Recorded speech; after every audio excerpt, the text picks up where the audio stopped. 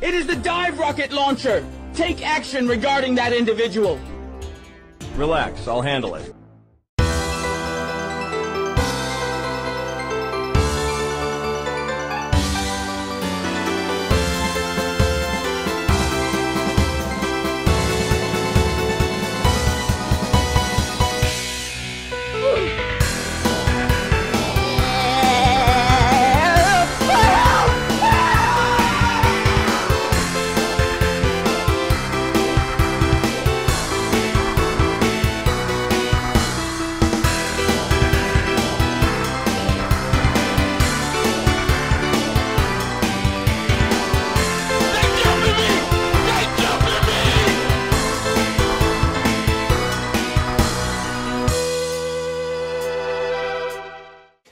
TC is probably the most infuriating game mode in Item Asylum, but when you see that check for 1.2k Item Asylum coins, you start to believe it's not so bad after all. So today, we'll be going over how to win as many TC games as possible, so you can buy Gakuen or one of the numerous coined player tags in the shop, I don't care. Let's start this guy with a few disclaimers. In TC, sometimes you're going to have people who look like this on your team. Other times, you're going to have people who AFK the entire round and ruin the game for everyone. This guide is not made for those kinds of games. Those kinds of games, you just pack it up and go home because you couldn't do much else. This guide is going to be for A, how to play your class's role correctly so you can absolutely blow out the other team, B, how to win in spite of terrible teammates, and C, some general tips that'll help you in any scenario you face. Let's start.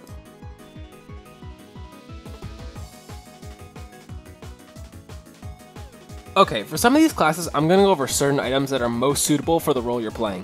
This does not mean you should sit and spawn rerolling until you get one of those items.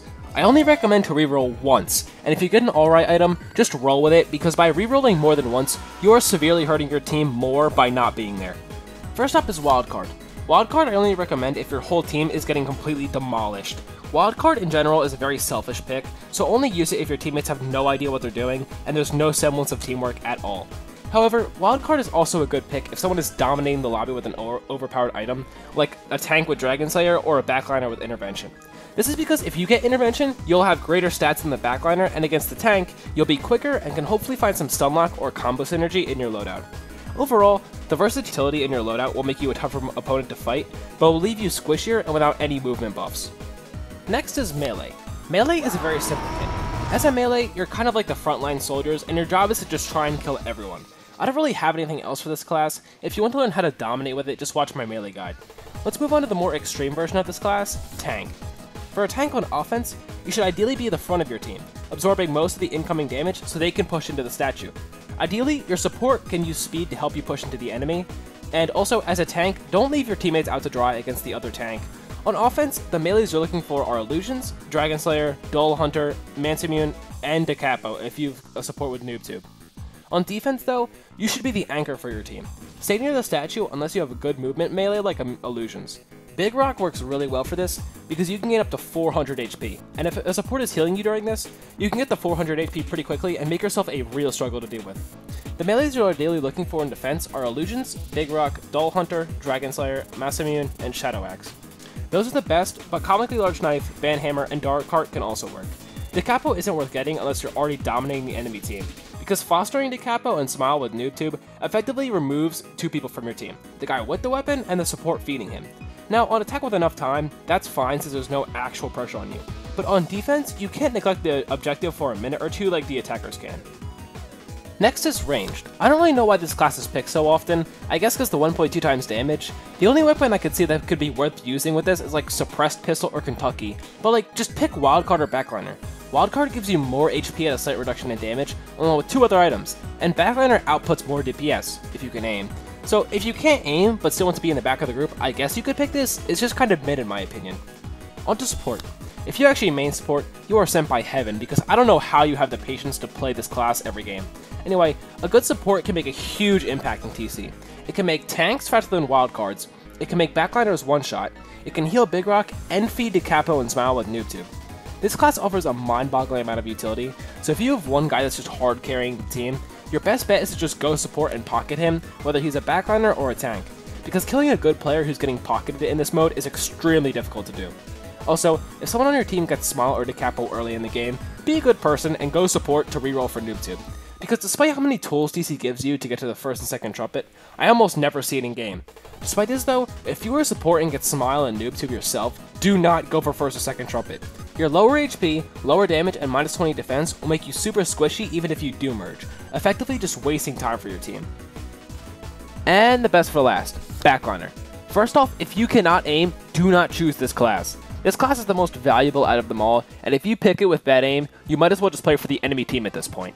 Backliner outputs by far the most damage out of any of these classes, specifically with Intervention and SSG.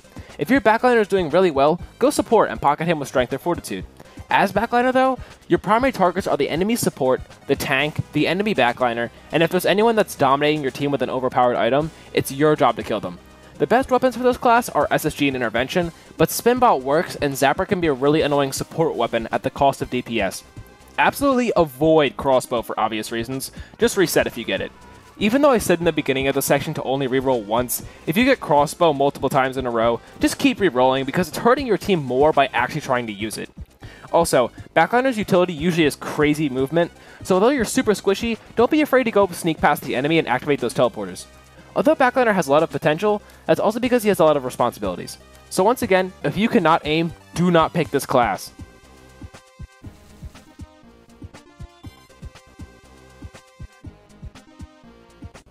Okay, first, I can't believe I have to say this, but stay on the statue. Even if you guys are just capturing point after wiping the whole enemy team, don't walk away, because then the statue is going to capture slower, and that gives the enemy time to respawn, come back, and kill you. Also, on defense, if the enemy captures some of the statue already, it naturally goes down painfully slow. So for the best chance to win, make sure your team stands on the statue until the bar turns fully blue again. Next, teleporters are extremely useful. They can either help you reach the point faster, or offer an alternate route for flanking the enemy. So on attack, always try to go for teleporters, unless your team is act actively capturing a statue, and on defense, always destroy the teleporters. Let's go over a few map-specific ones. On the map Scary, on defense, the first point is the easiest to defend of them all. Just spam these choke points and bridges, and don't let the enemy get the teleporter to the right, because it offers a really annoying flank route that's tough to deal with. Likewise, on attack, the easiest way to win the first point is to grab the teleporter with a mobility item like Stick Horse, and then run a two-way attack from the original choke points and the teleporter.